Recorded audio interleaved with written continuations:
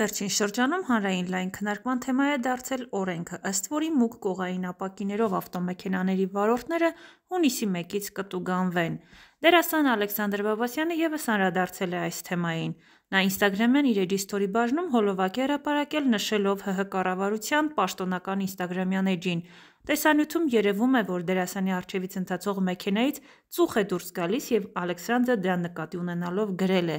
«Քերելուց բացի մեր երեխեքի մասին մտածեք, պլյոն կա ախպերներ պլյոնկից մեր երեխեքի էկոլոգիան չի պղտորվում»: